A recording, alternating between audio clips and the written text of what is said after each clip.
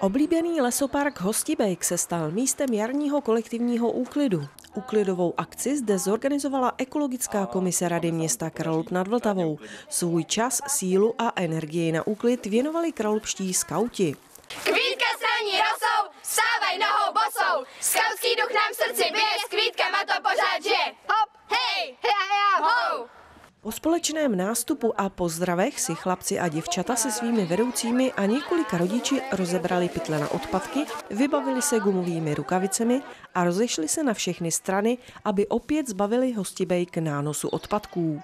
Tak ekologická komise se podílí víceméně tím, že eh, zařizuje nějaké takové organizační věci okolo, okolo té akce samotné, eh, ať už se jedná o úklidové prostředky, ať už se jedná o pozvání městské policie, ať už se jedná o propagaci eh, či zpětné sepsání článku o té akci, tak, tak to je zhruba ta naše náplň, kterou, kterou my pro tu akci zařizujeme. Ta největší zásluha uh, patří místnímu skautskému středisku, plus samozřejmě, uh, protože je to akce veřejná, tak, uh, tak i lidem z řad veřejnosti, kteří se akce účastní.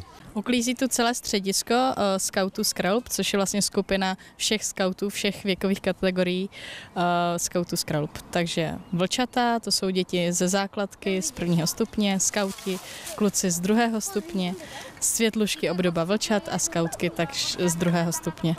Pak jsou tu roveři, to jsou mnohem starší uh, skauti, až třeba do 25 let. A pak jsou tu ještě malí benjamínci, to jsou děti ze školky. Malé děti uklízely na rovince, starší chlapci se naopak vydávali pro poházené či zafoukané odpadky na strmé svahy.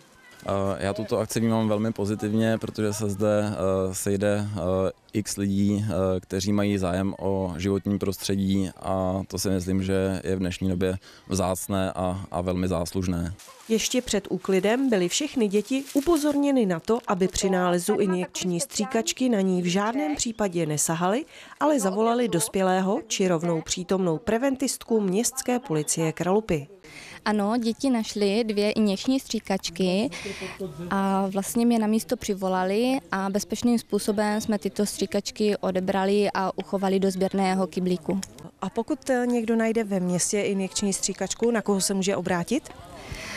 Určitě by se občané měli obrátit na městskou policii, mohou zavolat na linku 156, kdy hlídka pro tuto niční stříkačku přijede, bezpečným způsobem ji odebere a potom ji bezpečně zlikviduje.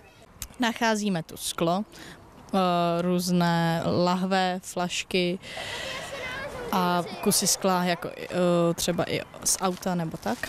Pak jsme tu našli spoustu plastu. Plast je tu ve všech formách. Obaly, plastové lahve, uh, víčka. Pak tu nacházíme pravidelně věci, které vůbec nečekáme, jako jsou různé uh, látky, kusy uh, nábytku a tak. Skautský oddíl Střelka uklízí na hostibejku každým rokem z jara. Zmenšuje se tu množství odpadu díky tomuto pravidelnému úklidu? Právě tenhle rok mě zaráží, jak málo toho máme. Většinou, když projdeme už půlku této trasy, uh, tak se dostaneme na jednu, dvě stříkačky, na to, že už máme třeba pět pytlů plných. A teď, když se rozhlednu kolem sebe, tak máme stěží jeden z pytlů po, z půlky plný a další třeba šest jenom poloprázdných. Díky skautům se každoročně hostibejk v jarních měsících vyloupne ze své staré slupky a zbavený všech nánosů odpadků a špíny nás láká na jarní procházky přírodou s pěknými výhledy na město.